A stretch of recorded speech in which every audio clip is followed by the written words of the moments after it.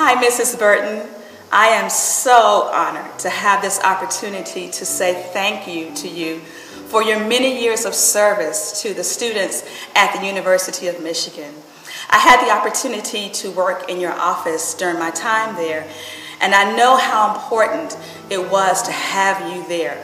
Uh, students often stopped in just to say hi, to take a pause during the course of their day. Uh, we sometimes needed your advice on handling a difficult situation, or sometimes we just needed a laugh, and you were always there to provide us with that. And I thought about it a lot because I remember when you retired, I was, I was being really concerned about who was going to come behind you and do what you had done for us.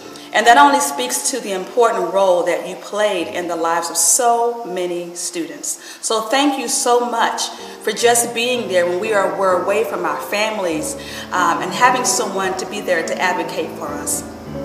And I thought about you and I thought about one particular scripture, and that was Psalm 127, verses 3 through 5.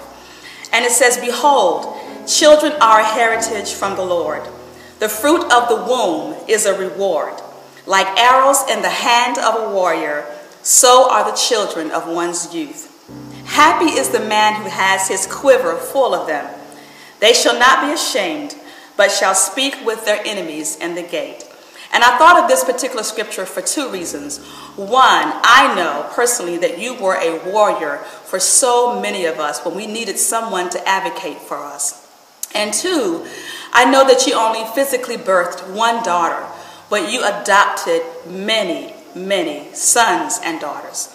And we are so grateful for all that you did on our behalf. So I just want to take this opportunity to say from the depths of my heart, thank you so very much for using your job at the University of Michigan, not only as a service to them, but also as a ministry to the many students who walk through your doors. Thank you so much. God bless you. I love you, and I am praying for you.